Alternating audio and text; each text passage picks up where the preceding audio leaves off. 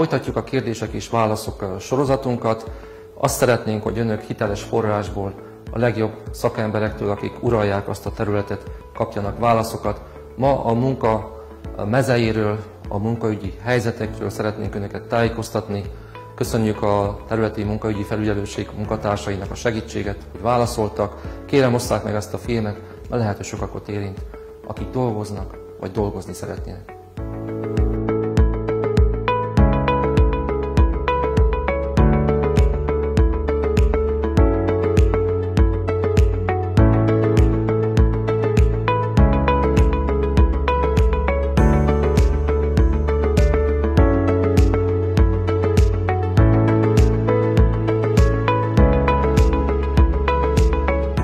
Concediului, angajatul poate să-și înainteze demisia, iar când expiră concediul de odihnă plătit, începe să curgă termenul de preaviz. Demisia reprezintă actul unilateral de voință al angajatului privind încetarea raportului de muncă. Așadar, decizia încetării contractului de muncă prin demisie este atributul exclusiv al salariatului și nu poate face obiectul unei cereri impune din partea angajatorului – în privința demisiei, termenele maxime legale de preaviz sunt 20 de zile lucrătoare pentru funcțiile de execuție și 45 de zile lucrătoare pentru funcțiile de conducere. Evident, aceste termene pot fi scurtate prin acordul părților sau în conformitate cu prevederile contractului de muncă, ale regulamentelor interne sau, de pildă, a contractelor colective de muncă aplicabile.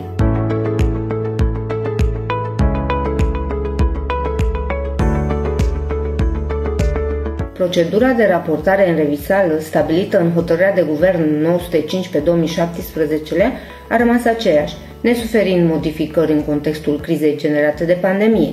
Chiar și în această perioadă, orice modificare a contractelor de muncă a angajaților impune raportarea în aplicația națională revisat, mai puțin perioada de suspendare a contractului individual de muncă în caz de boală.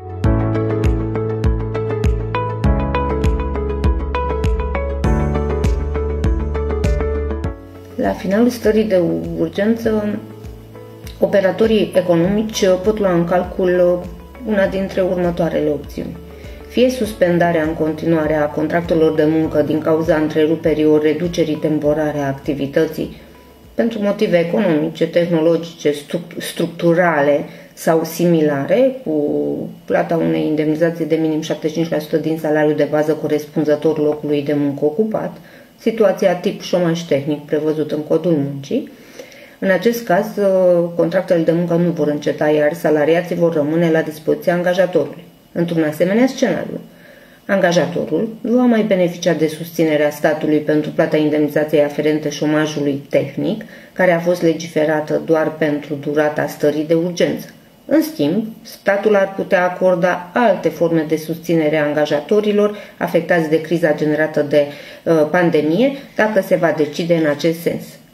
În cazul în care nu poate relua activitatea, angajatorul va avea de asemenea posibilitatea efectuării de concedieri pentru motive ce nu țin de, de persoana salariatului desfințarea postului, de exemplu, în baza unei argumentări economice, obiectiv justificate și urmând procedura prevăzută de lege.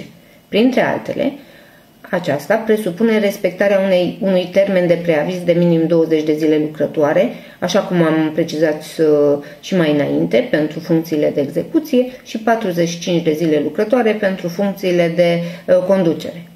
Un alt scenariu ar fi încetarea contractelor de muncă prin acordul părților, caz în care nu este necesar neapărat respectarea unui termen de preaviz dacă se uh, cade de acord uh, atât uh, angajatorul cât și angajatul cu privire la acest, această clauză din contractul individual de muncă.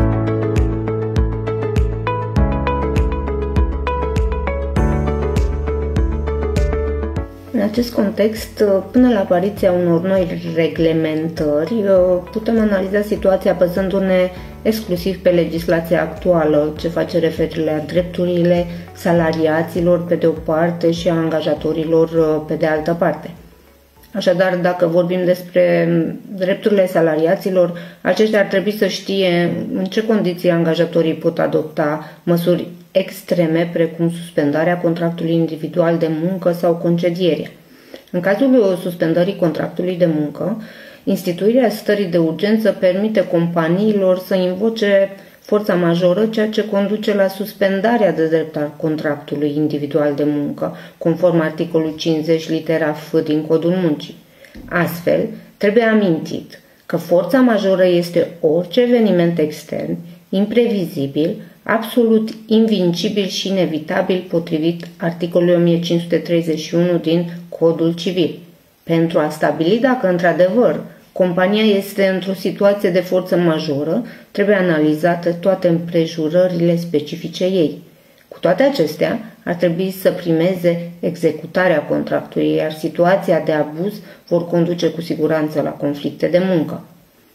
În cazul șomajului tehnic, um, contractul individual de muncă poate fi suspendat din inițiativa angajatorului și în cazul întreruperii sau reducerii temporare a activității, fără încetarea raportului de muncă pentru motive economice, tehnologice, structurale, uh, stipulat în articolul 52 alineatul 1 litera C din Codul Muncii. Este vorba aici despre așa numitul șomaj tehnic. În această situație, pe durata reducerii sau întreruperii temporare a activității, salariații care nu mai merg la muncă vor primi cel puțin 75% din salariul de bază corespunzător locului de muncă ocupat. De asemenea, este important de menționat că în această perioadă de șomaj tehnic, ă, salariații pot fi rechemați oricând la muncă, deoarece ei rămân la dispoziția angajatorului. În cazul concedierii, ă, aceasta reprezintă încetarea contractului individual de muncă din inițiativa angajatorului. Acesta poate fi determinată de desfințarea locului de muncă din motive care nu țin de salariat. Atenție, însă, nu poate fi decisă concedierea pe durata întreruperii activității ca urmare a instituirii carantinei, ă, stipulată în articolul 60 alineatul 1 litera B din Codul Muncii, cum ar putea fi în cazul unor operatori ce s-au închis temporar urmarea apariției unui caz de îmbolnăvire. În acest din urmă caz, contractul de muncă se suspendă de drept. Concedierea poate fi inițial individuală sau colectivă.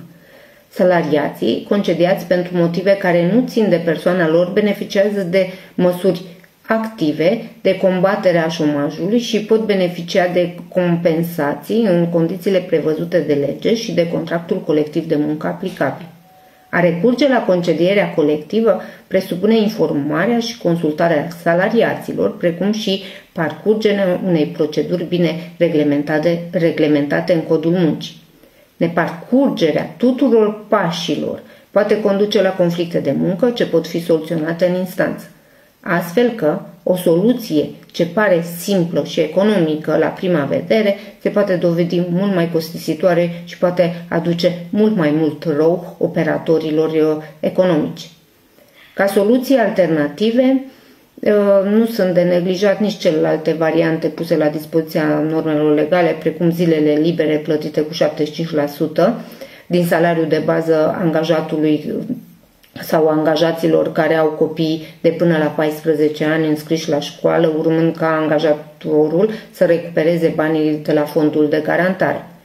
Ehm, și telemunca este o soluție, ceea ce presupune a lucra ă, de oriunde, folosind tehnologia informației și comunicațiilor, salariatul rămâne, ă, salariul rămâne neschimbat în această situație. Munca la domiciliu, în cazul căreia salariatul se bucură de toate drepturile recunoscute prin lege, ca și când ar lucra la sedul angajatorului. De asemenea, și în acest caz, salariul rămâne același.